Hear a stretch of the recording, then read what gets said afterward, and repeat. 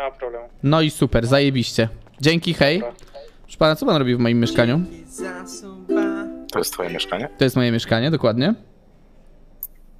No, ciężko mi się z tobą nie zgodzić.